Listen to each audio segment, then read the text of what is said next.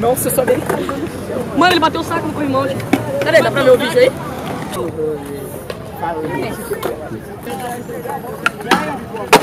Não.